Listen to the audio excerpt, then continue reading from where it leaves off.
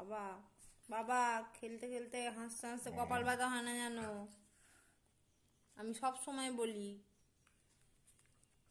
খেলা করছ করো হাসতে হাসতে কপাল ব্যথা করো না। তুই বদ। ও ল্যাজ নিজের কাছে নিয়ে রাখতেই পারে।